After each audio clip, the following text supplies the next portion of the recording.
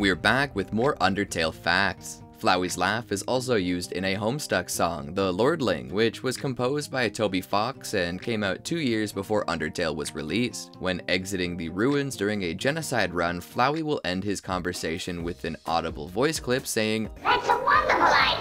Toriel's name is a pun on the word tutorial. Toriel herself acts as a parody of tutorial characters. You can find Sans in Hotlands selling hot dogs and hot cats. If you buy a hot dog without any room in your inventory, Sans will place the hot dog on your head. Papyrus is the only character in the game whose dialogue doesn't start with an asterisk. Undernet, the Underground's number one social network, acts as a pseudo Facebook in Undertale. Although you can never access it, other characters can, and you can see their unique unique usernames. When you go up against Mettaton near the end of the game, the program window for Undertale will rename itself Undertale, the musical. For more musical facts, make sure to subscribe to the leaderboard.